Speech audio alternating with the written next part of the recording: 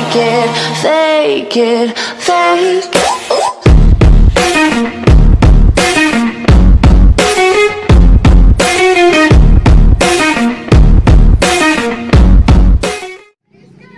Hello guys! So ayun, welcome po ulit sa, sa aming cooking vlog. Ako nga po pala ulit, ang inyong lingkod, uh, aspiring chef, Kuya Mike. Uh, tuturuan ko po ngayon po ngayon kung paano lutuin ang ating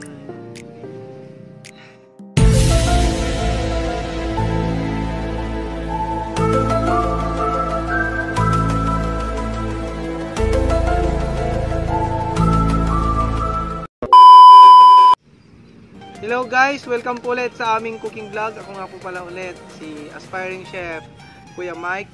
At ngayon, ituturo ko po sa inyo kung paano magluto ng shish kebab.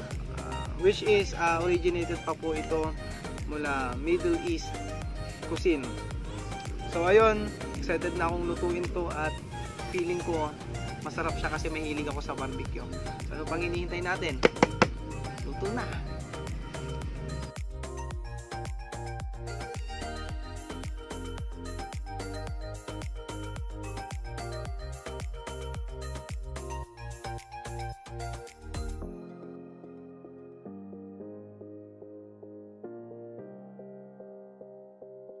So yun guys, sa pagluluto po ng ating shish kebab, siya po ay marinated.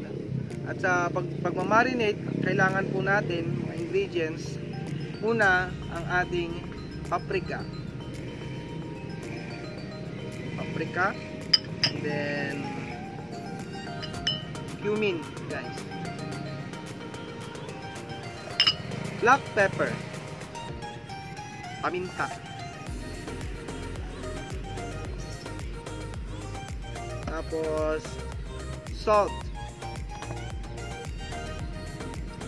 Siyempre, hindi mawawala ang ating sibuyas. Wait lang guys, tatabi ko lang ito at hihiwain natin itong ating sibuyas.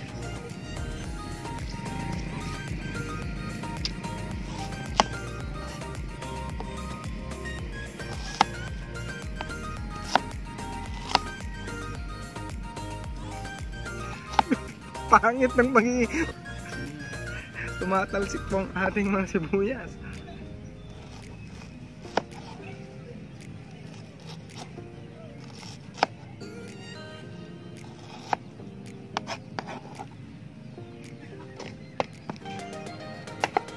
Next is ang ating celery. Dahon lang po ang kailangan dito.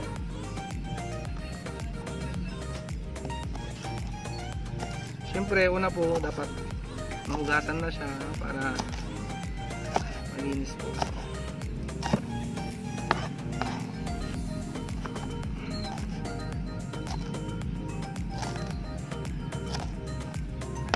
Supposed to be, hindi po siya dapat celery. Ang gagamitin po sana natin ay ang pangalan nun, nakalimutan ko na ng pangalan nun. Pangalan nun?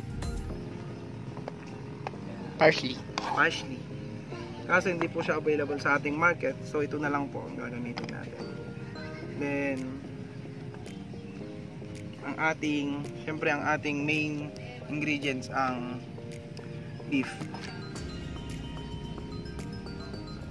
Nagugas naman po ako so pwede na natin siyang kamayin habang hinahalo. Magugas po tayo guys.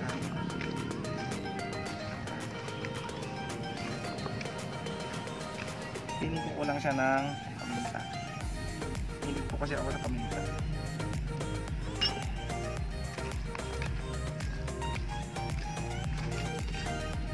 Ano lang po natin siya.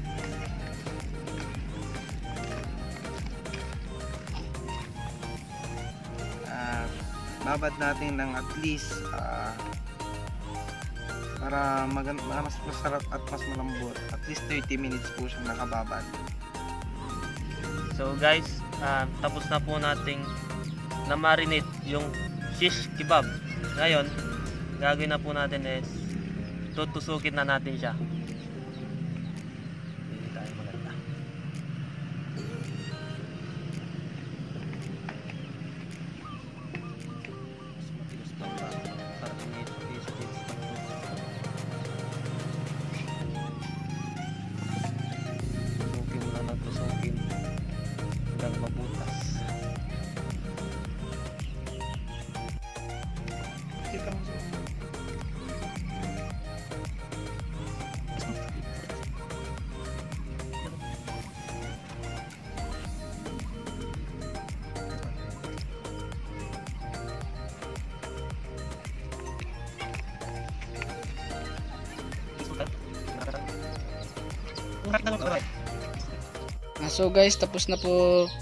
natin i-marinate ay tusukin ang ating shish kebab at ngayon iihaw na po natin.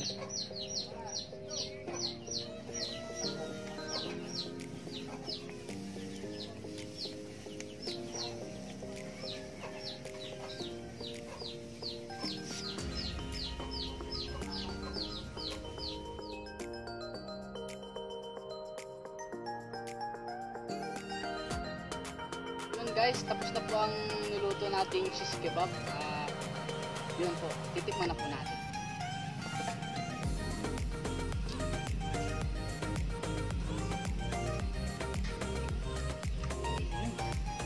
Sarap.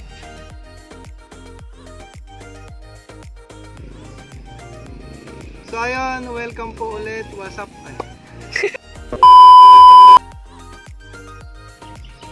Hello guys! So ayun, welcome po ulit sa aming ah, cooking vlog. At ako nga po pala ulit ang likod, aspiring chef Kuya Mike. So ang ipululuto po natin ngayon ay, ang pangalan po ng dish na iluluto natin ngayon ay shish kebab. Which is originated pa po ito ah, galing sa, or originated pa mula ah, western, western What's up mga kaluto? So welcome ulit po sa ating vlog at ang ating lulo ah, sige. So yun guys, titikman na po natin.